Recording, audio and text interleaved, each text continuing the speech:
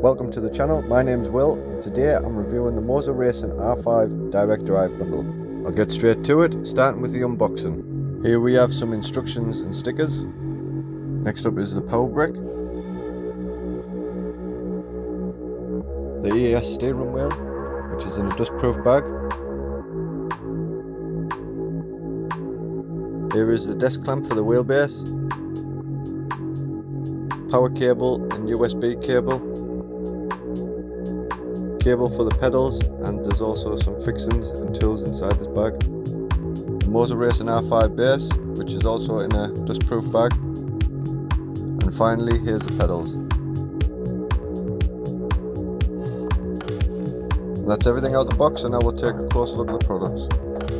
We'll start off by taking a closer look at the wheel. So this wheel is a D-shaped wheel, it's 11 inches in diameter, the rim is wrapped in microfiber leather, the frame is made from aluminium, back housing is plastic, we've got some aluminium paddles, the quick release is the same quick release they use in the premium wheels, the wheel also has 22 buttons and has a customizable LED shift light.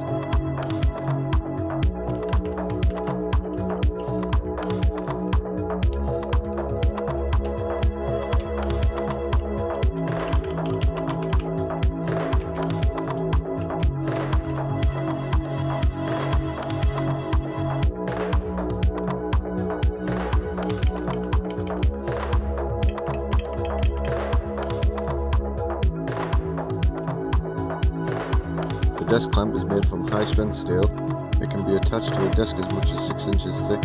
It has a 15 degree angle. On the top and the front there's some rubber pads to protect the base and the surface you're attaching the clamp to. Now we'll take a closer look at the base and then I'll demonstrate attaching the clamp to the base. The R5 is a direct drive wheelbase which has infinite degrees of rotation, 5.5 The housing is made from aviation grade aluminium alloy. The back of the housing is plastic. There's four inputs on the back, one for the pedals, dash, USB, power supply, and there's also a power switch. The housing also acts as a heatsink, so there's no need for any cooling fans. The mounting point is at the bottom of the base, as you can see there, there's four 12 holes. Now I'm going to attach the desk clamp to the base. Because the mounting point is at the bottom, I'm going to turn the base upside down. The fixings are included with the R5. There's a bag with an Allen key, 4 bolts and 4 washers inside. Mount the desk clamp to the base is very simple. Just make sure you've got the clamp face in the right way and line up the holes and screw in the bolts. Just to add, make sure you use a washer on each bolt. Don't go crazy when you tighten the bolts. The last thing you want to do is strip the threads, but if you think it's too loose, just get your finger in there, see if the washer is loose. If it is, then you need to tighten it a bit more.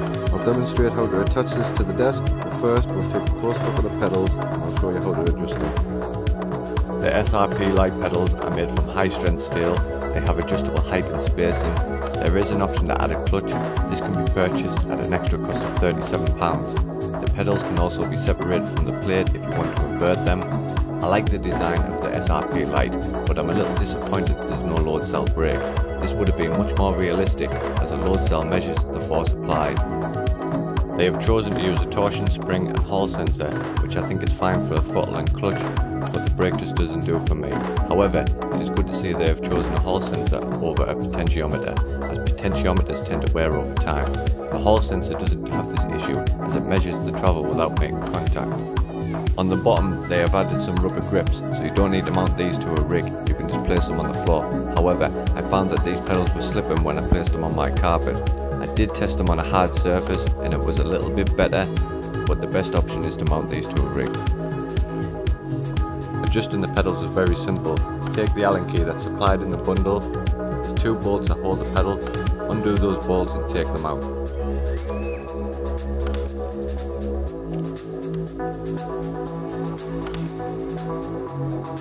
All you need to do now is line up the pedal to how you want it, then screw in the bolts tight.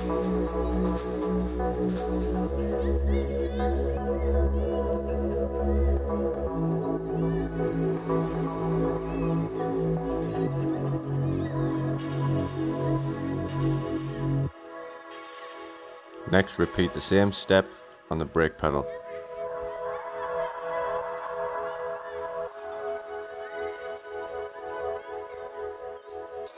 Now we'll adjust the spacing. There's four bolts that hold the pedals to the plate. Undo and take those bolts out. Now just line up the pedal where you want it and screw in the bolts tight.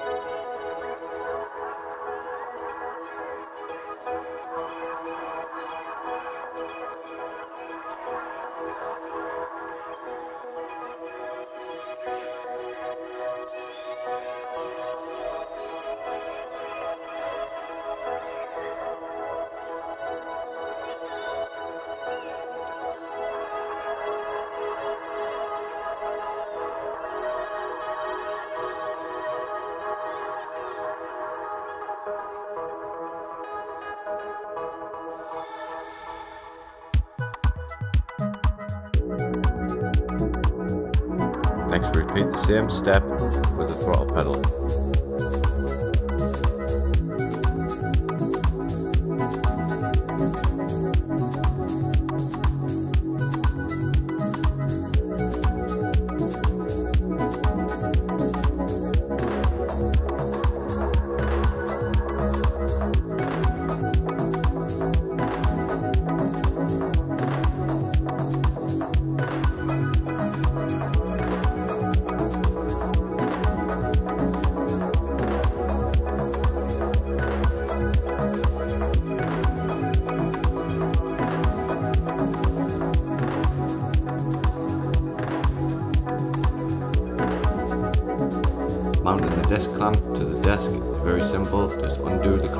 Clamp, line it up on the desk, screw it up tight.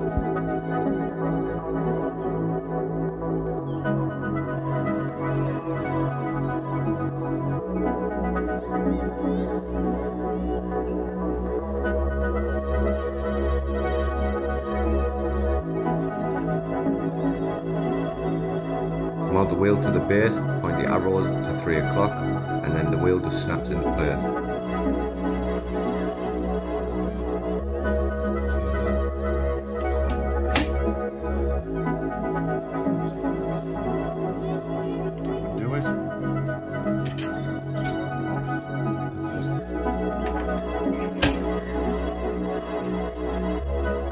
Wire everything up and get it turned on.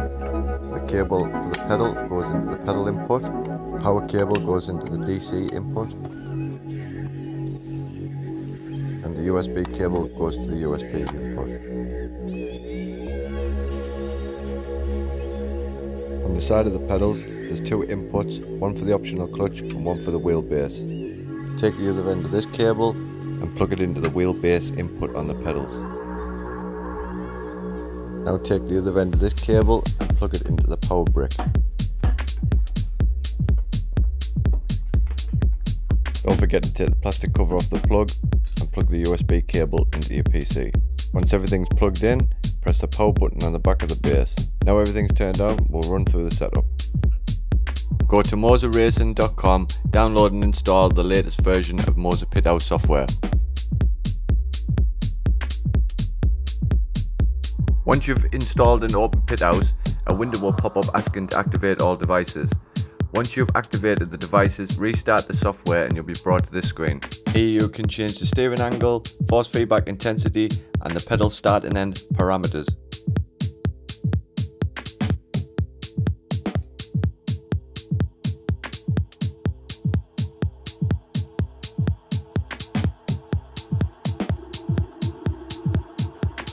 Basic settings, you can either select a default preset or customize your own settings. Steering angle, road sensitivity, force feedback intensity, maximum speed of wheel, mechanical back to center strength and mechanical dampering. On advanced settings, you can adjust a bunch of settings. I recommend hands-off protection disabled, especially for drifting. Another cool feature in the Pithouse app is the force feedback effect equalizer. Here you can adjust the RPM timings and brightness for the shift light.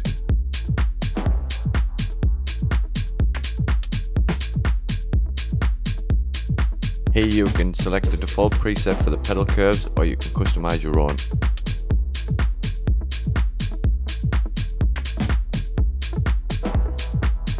If you purchase the Moza Racing Dash you can select the different dash styles here. On this page you can update the latest firmware for your devices.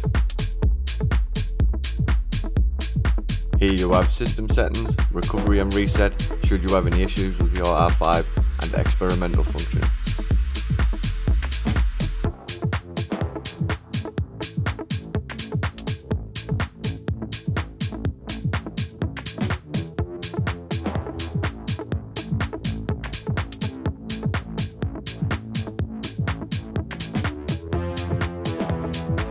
This will take you straight to the support center.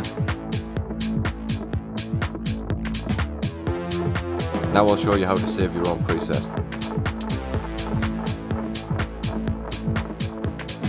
Once you've made your adjustments, click Save to Preset Racing Modes. Now select the default preset, then type in a name for your custom preset. Don't worry this won't overwrite the default preset. Once you've named it, save it. Then to select your own custom preset, hover the mouse over the preset you've selected and your new preset will appear. Now I'll show you my settings for Assetto Corsa. These are good for racing and drifting road cars.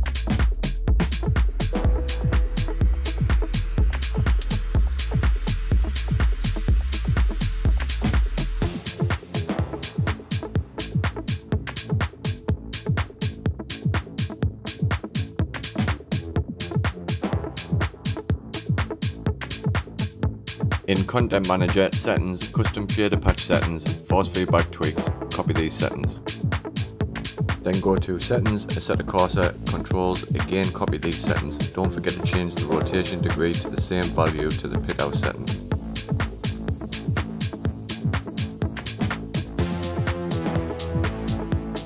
in-game force feedback settings, as you can see most of this is set to zero. Because we're using a direct drive base, these artificial settings are not needed. Pithouse software will activate all the force feedback effects. Again, I've set to 50% which should be good for every car, but some cars have stronger feedback than others so you could adjust this a little higher in some cars, but make sure you monitor your force feedback for any clipping. Onto some gameplay and now I'll give some final thoughts. Let's start with the ES wheel. I think the quality of the wheel is acceptable for the price, the leather feels nice, the stitching is good, the buttons are easy to reach, the paddles feel great and I like the clicking sound from them. The quick release is amazing, it's identical to what's on the premium wheels, there's a fair amount of buttons and I think there could be a hint for console compatibility since this wheel has a D-pad and buttons A, X, Y and B. Maybe Xbox? Under the desk clamp. Again, another positive one. The clamp is strong. I don't feel any flex. It was easy to bolt the base on, and my desk hasn't smashed to pieces, so it's a thumbs up for the clamp. Next for the R5 base. This base is amazing for the price. There's no cooling issues. It's silent, very smooth. I can feel all the details. The force isn't mega, but it's enough. I think it's a big step up from any gear or belt driven base. So it's a big thumbs up for the R5 base. Onto the pedals. I like the design of the SRP Lite. The adjustments are easy. I like the fact you can invert these. The pedals feel strong. The pedal travel distance I think is perfect, but I'm a little disappointed there's no load cell brake. If you've never used a load cell brake, this may not be a big deal, and after a little use you will get used to it. But I'm not going to give these pedals a complete thumbs down because the rest of the design is great, so I'm kind of in the middle.